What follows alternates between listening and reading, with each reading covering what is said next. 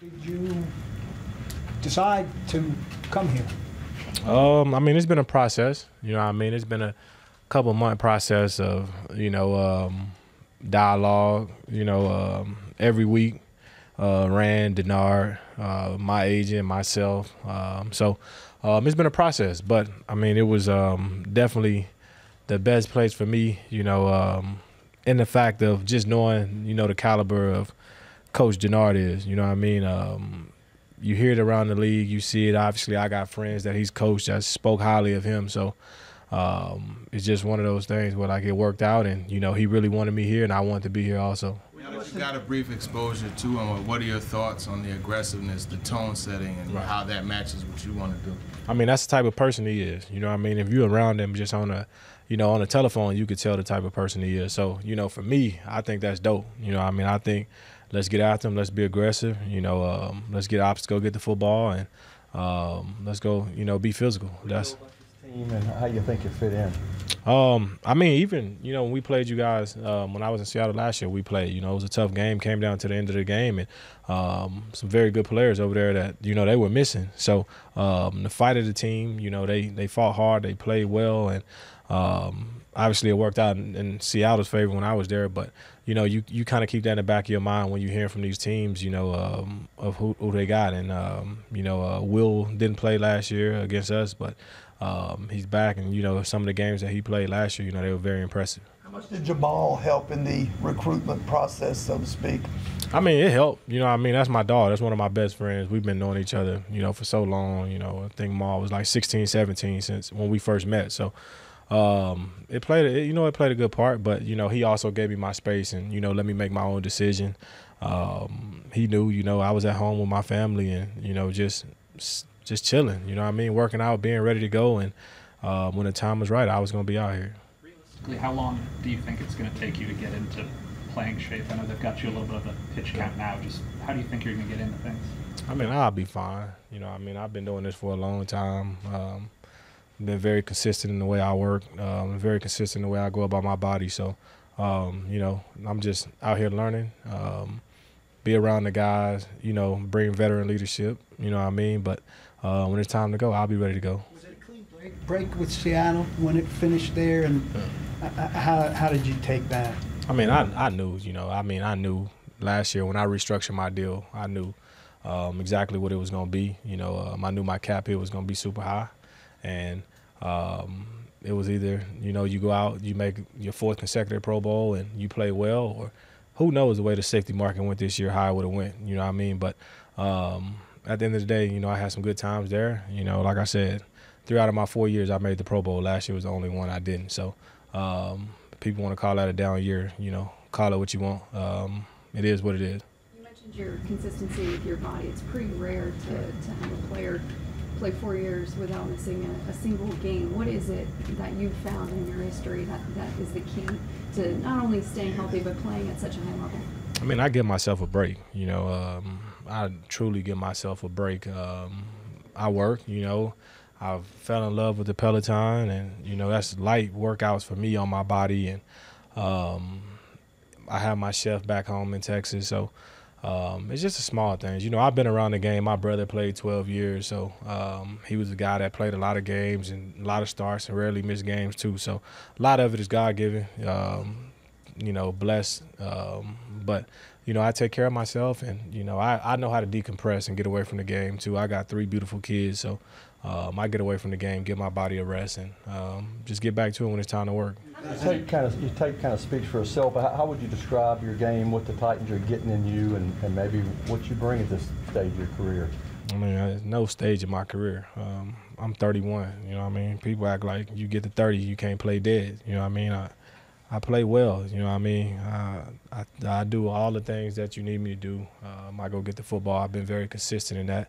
Um, you know, top 10 in the last however many years, top five, you know, in the last however many years. So I go get the football, you know what I mean? And, um, you know, I want to be physical. I want to tackle. I want to do those things, but I also want to, you know, um, help guys learn the game. You know, um, very cerebral in what I do, and um, you know, I take this serious. You know, it's my job, and um, you know, when I'm when I'm dialed in, when I'm ready to go, it's you know it's go time. I don't know how much you knew of, uh, you know, Amani Hooker before you got here, but what do you like about his game and, and the opportunity to work with a guy like that who's, who's been really good?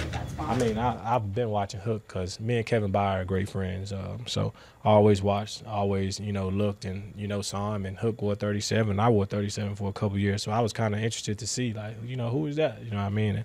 And, um, he's been playing well for a long time. He's very one of those one of those guys that's very underrated. And, um, you know, you know, my job is to, you know, help him out as much as I can. And um, obviously he'll be helping me trying to learn my way around here and figure these things out. But um, I think it'd be really good, and I think um, we're gonna be really good. So we just got to keep working. You sign a deal and then that gets torn up, and then you're sitting on the market and you're seeing all these other safeties go. At some point, like, do you start to develop a chip on your shoulder, or was that just like I'm waiting for the best opportunity? How did you approach that? I mean, for me, bro, I tell everybody this, bro. I was six round pick 200.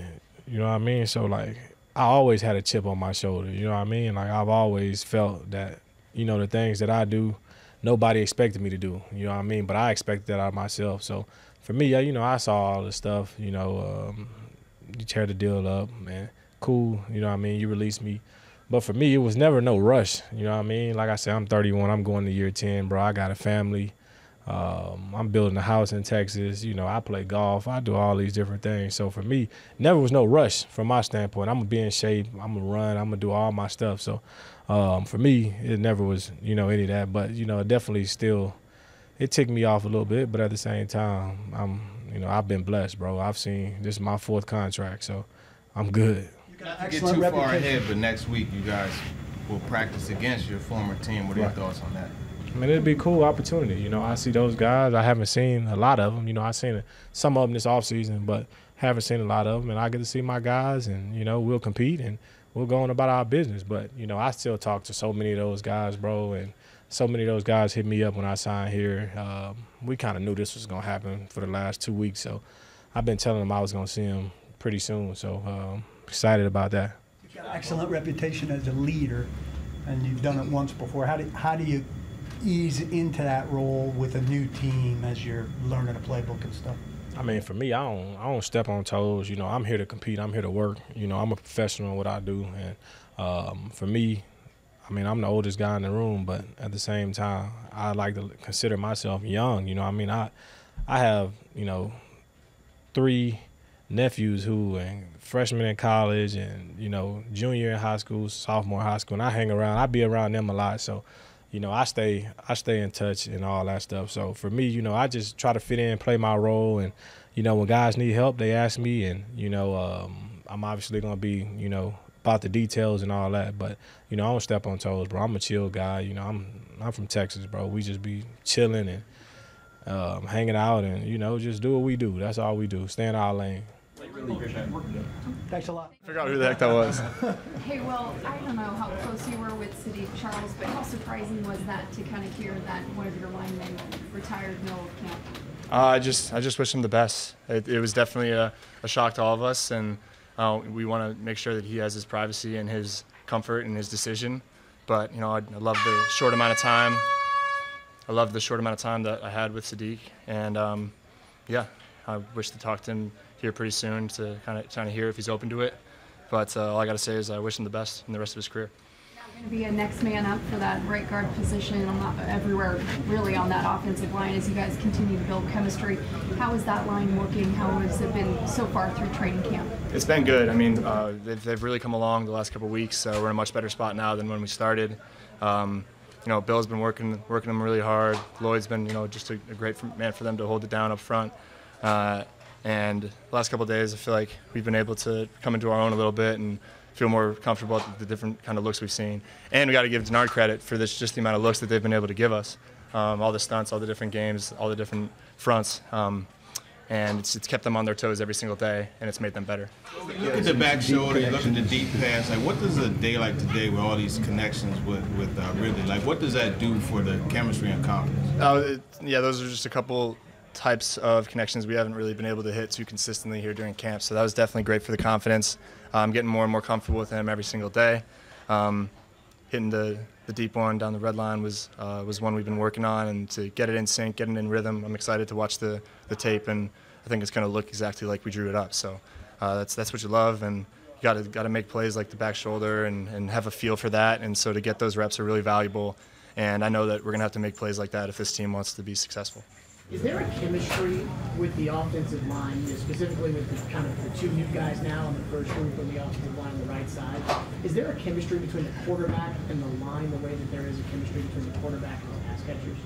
Uh, yes, I'd say so uh, to a certain extent. Uh, it's knowing your strengths and weaknesses of your guys. Uh, I think I could point to a couple things of just knowing maybe where it's more so based on the defense and what their moves are and the kind of pressures that we're expecting and uh, pass rush moves as, as to where they potentially could get you know lose some leverage and that could affect where you know our escape pattern is or where our movement in the pocket could be.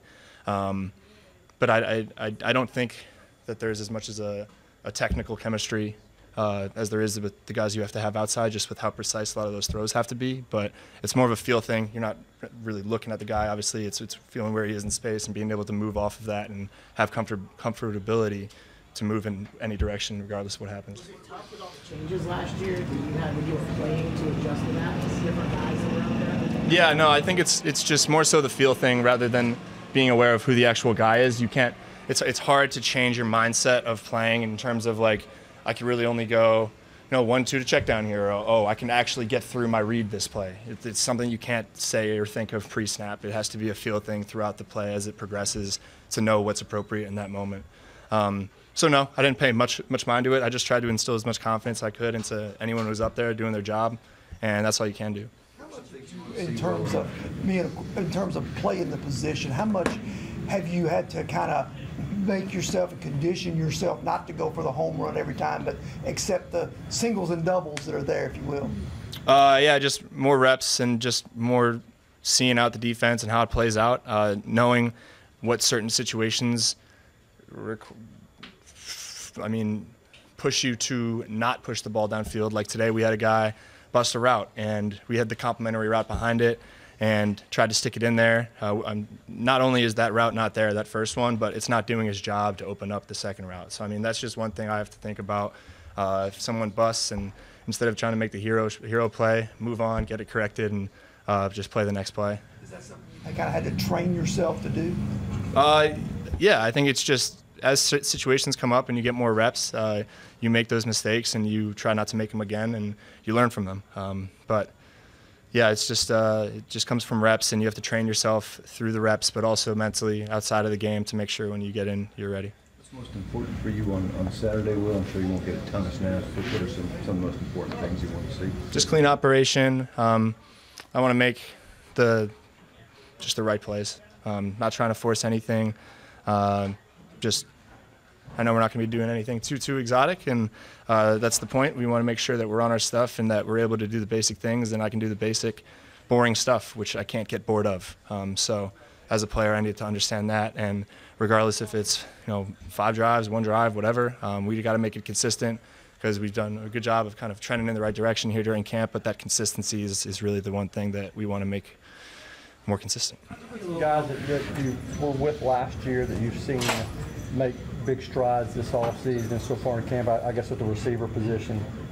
Uh, I mean, you got to give give cre- uh, credit to NWI. Like Nick's been playing well. He's he's always been a guy who's on his stuff, and other receivers are always looking to him to learn from and to make sure that they're on their stuff because they know Nick's going to come in prepared every day. Um, he's a guy who doesn't get enough credit around here in this building.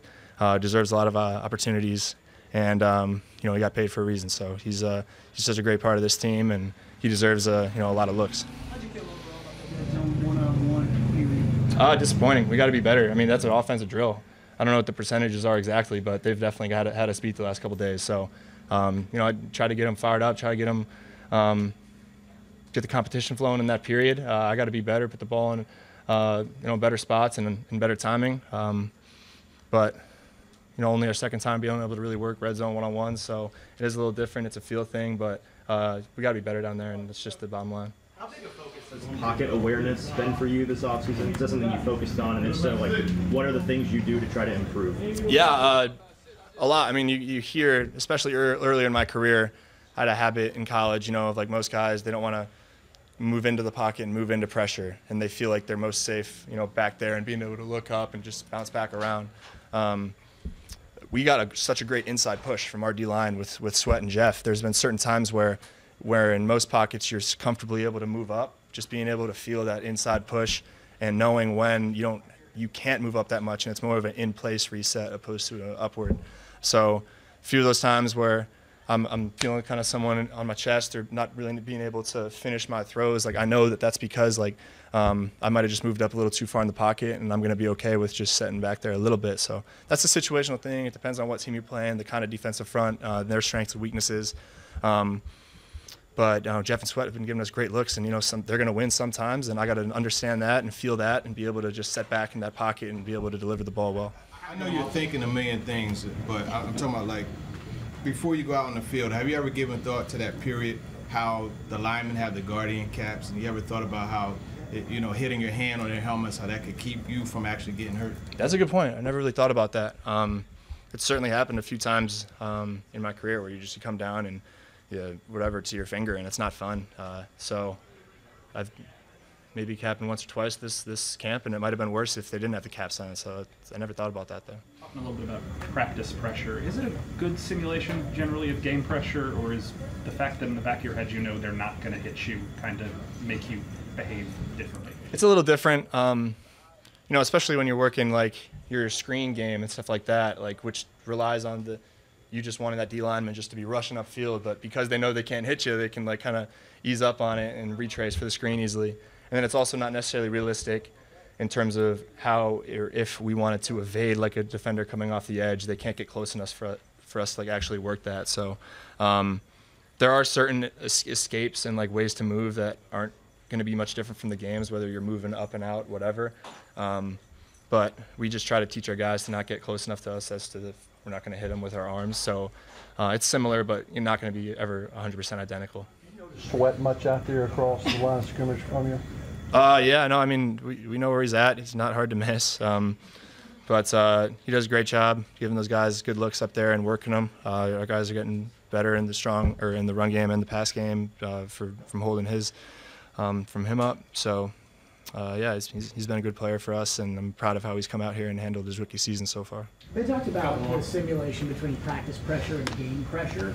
Do you think that you need the preseason reps of the potential game pressure where you can get hit in order to be ready for Chicago?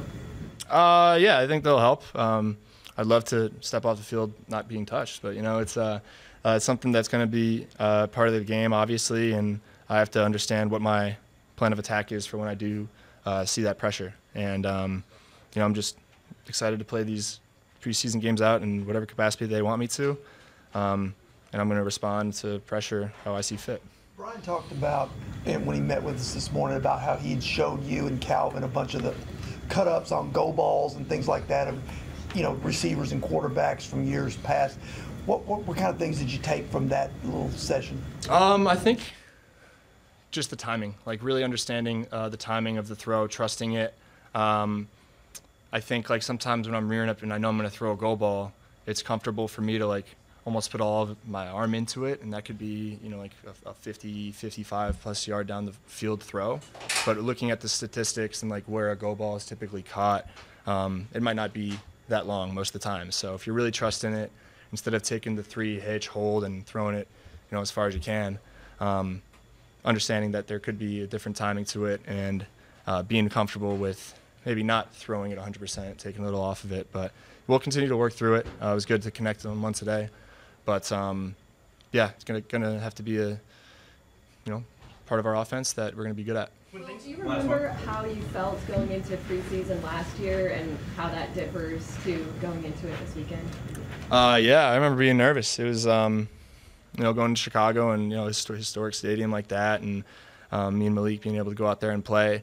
Uh, it was definitely uh, nervousness and I remember it, it stunk. I had, I had an injury I was dealing with, and I came back for it, and then re-injured myself in that game, and I couldn't play the rest of the preseason. But um, yeah, definitely just more confidence and uh, not as much nerves. Definitely going to still be some nerves as there always is, regardless of what game, uh, preseason or not. So looking forward to it, to leading these guys and going out there and just doing our thing. Thanks, Thanks. can you describe a little bit, Roger, um, some of the, the basic differences that, that you and the other corners um, have now under, under Dennard, say, as opposed to the, the previous system, in, in terms of, you know, I guess the buzzword has been aggressive. How, how does that play out for you? Uh, yeah, um, I would say the difference between like all of us is that I say we all have our different style.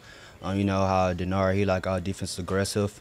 There were guys I would say who weren't aggressive, but you can tell like that's our style, and they brought that on. You can tell the guys we brought in new like Sneed and Chido. You can tell how we want everybody to be aggressive. So throughout this whole competition with the offense, I see a lot of guys stepped up trying to compete and just be aggressive and attack the offense first. What You know about Quandre Diggs from afar and what's like maybe being his teammate. What have your early interactions been with him? You said Diggs? Right. Oh yeah, I mean you, you just tell that he's a vet guy. I mean like he caught on pretty fast. You can tell like he was out there a little bit, and you can tell just from his old defense scheme and stuff. He already know like how the game goes, and you can tell like he made a, a play out there like quick right on the field. And that's just like a vet move, I'll say, just from his experience of playing football these past years. What's the process going to be like in kind of getting on the same page with him and getting him up to speed? I mean, I wouldn't say it would be hard, you know, because he's a vet, I guess. I mean, defense, they all kind of like the same. It's just different terms, different names for it, I would say. But um, I would say it wouldn't be hard for him. We just got to keep him up on our pace and everything. But I feel like it'll be great because him and Jamal played with each other before, so they'll catch up pretty fast, I would say they brought in so many different guys at corner and safety with a lot of experience that you're still relative, relatively a pretty young guy. What what kind of things do you take from their games and tips do you take to kind of incorporate into your own game? Yeah, I mean, these guys they brought in, them guys I kind of looked up to, you know, great players from different teams and stuff. And you just tell by just how they practice. That's what I learned from them, just how they practice, like being 100% every day, being full speed every day with the practice, and just being a leader – you know, when, when they not on the field, they bring the leader outside of the field, and I feel like that's what I learned from them is just being more vocal and just try to be a leader, just like them. A lot of options now with, with for big nickel and different variety of packages and stuff. Brian went out of his way to say we don't want to take Roger off, off the field very often. Uh, did they express that to you, and is that reassuring, kind of, to know that despite all of this different stuff they could do, they, they want to make sure you're a part of it? Yeah, I mean, you see we got new guys and we have a lot of packages and stuff. Some guys come in play the boss and they can take me out, but I say like they're just part of whoever coach wanted to put in, just what position I'm in, that position I'm going to play in. And I feel like I, I can be good in the box with the big nickel and all that stuff because I played in it before, so I know how to go with that experience and everything. Roger, with that room, it is interesting because you've got a mix of veterans, uh, rookies, guys like you who have been in the league for a few years. What's the, the vibe in that room with this being this and attacking mindset that Dennard preaches all the time? It's great. I ain't gonna lie, the energy is great in there. You can just tell how everybody just love the style that he's bringing over. Like the place he brought in, you know, Ravens used to play it, Eagles used to play and stuff like that. So it's just great because you can tell how while these plays are really going to make us get our hands on the ball and just make us attack aggressive. So you can tell like each day as we learn the defense, we get more comfortable, and that's when you play more confident and just go out there and play fast. Is it nice to know with him having that as a position as an assistant in the past, the emphasis he kind of puts on that and, and knowing it's a big part of this defense? Oh yeah, most definitely. You can tell just from his coaching experience, it's, it's success. You know, guys make plays on him by getting coached by him. So it's just great just being coached by that kind of person because he pushes every day, and in the means he's the same way, just like on the field. So I feel like it's great having that coach who be on you everything about the little stuff.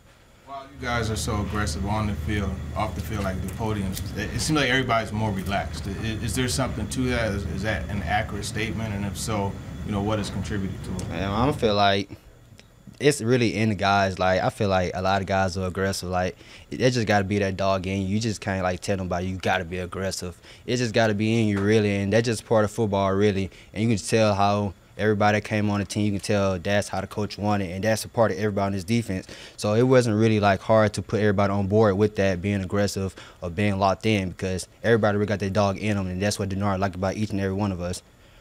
But off the field, you guys seem more relaxed. Like I said, at the podium, it, you know, it, it seems a comfort level. Is that just from experience being here, or is it the environment? What would you attribute that to? I would say more of experience. You know, just being on the podium and just talking what you know. Um, that's basically what we do. We talk about it off the field, talk about it in the rooms. It's just us about knowing our assignment. And once we know our assignment, we can be relaxed and talk about it, and especially on the podium. Roger Will said he felt like the defense won a lot of those red zone one-on-one reps.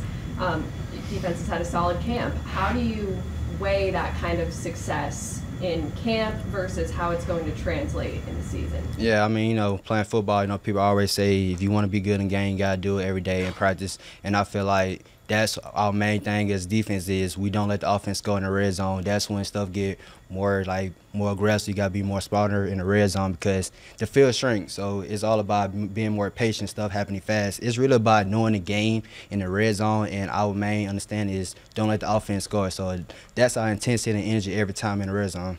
Important the reps for you, like on Saturday and in the preseason? Oh yeah, I mean with this, I mean reps will really be important in this first preseason game because I feel like this is our really first action, like in front of the fans and everybody, especially Nissan Stadium with this new defense, and I feel like it's gonna be great and the energy is gonna be there. We just gotta like have fun and just unleash it because we finally get to play in the game. Football's back.